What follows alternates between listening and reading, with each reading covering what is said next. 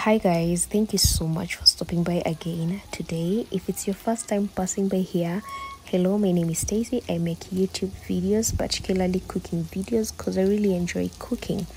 For this particular episode i'm going to be making some chicken with rice and some salad for the chicken as you can see i'm already frying it. I'd already marinated it.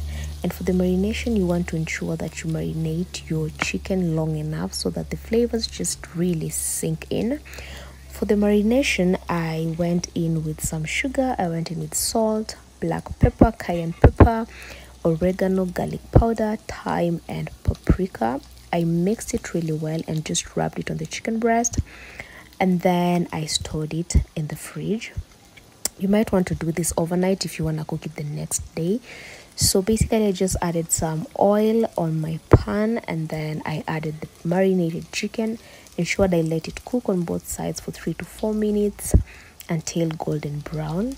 As you can see afterwards i went in with my dried rosemary and garlic. You don't want to go in with so much garlic and this particular meal can do a serving of up to two people so yeah i just added my rosemary and garlic at this point and let it cook for some time. Afterwards i set the chicken aside because the chicken is already ready. So here i'm going in with my red peppers and white onions.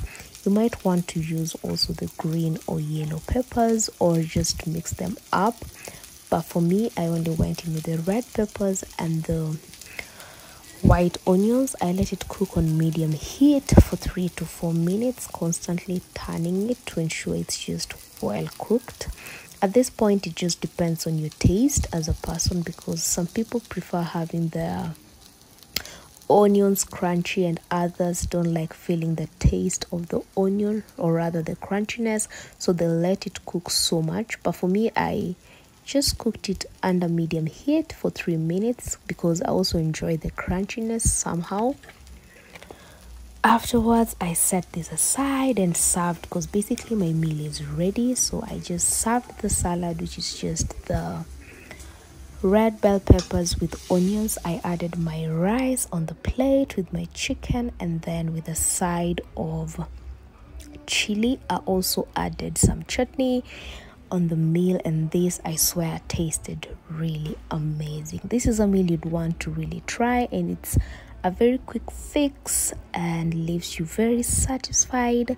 So thank you so much for stopping by. I'm hoping to see you on the next video and i wish you a merry christmas in advance and a happy new year. Stay safe and stay sanitized. Goodbye.